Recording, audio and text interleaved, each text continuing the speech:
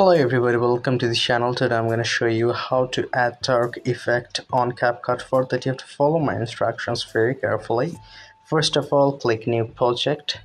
Then you have to select your particular video where you want to add the dark effect. Okay. Here is my video.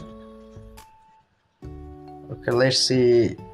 Here I should apply the black effect. So you have to scroll the options from the bottom part then click adjust.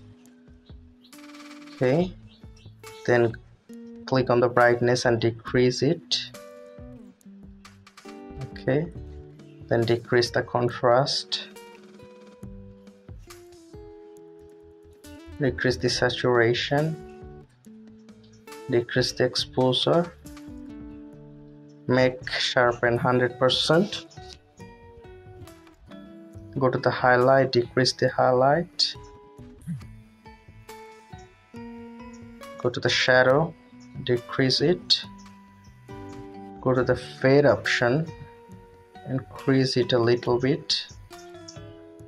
Click on the vignette option and increase it a little bit. That's it. You can see that.